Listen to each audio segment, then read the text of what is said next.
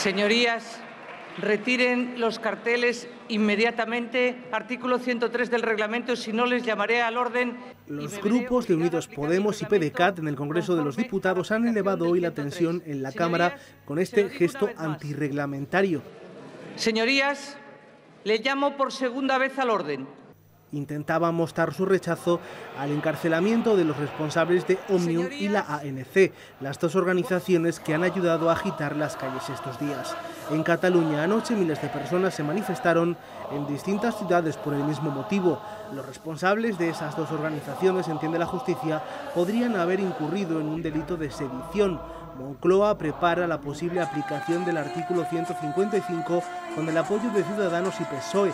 Rajoy recordaba en el Congreso que el Parlamento de esa comunidad lleva un mes paralizado. Tanto los señores y señoras diputados de la oposición de Cataluña, que también representan a los ciudadanos de Cataluña, no pueden preguntarle a Puigdemont la razón por la cual él no explica al conjunto de los ciudadanos españoles y particularmente a los de Cataluña si ha declarado o no la independencia. Algo que no precisó el lunes y que todo apunta lo hará mañana.